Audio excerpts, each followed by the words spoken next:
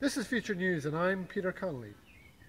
It's one year to the day that Facebook died, being replaced by spontaneous conversations and real world connections where people actually talk to each other in real time.